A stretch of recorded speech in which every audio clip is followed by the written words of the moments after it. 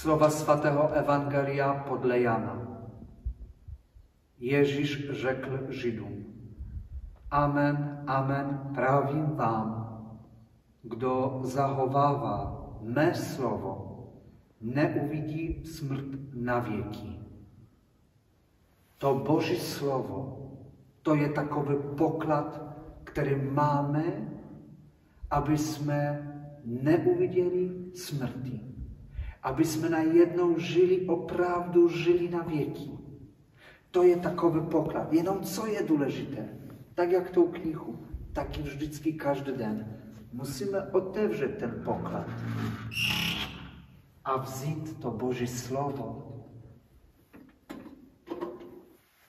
Otewrzeć je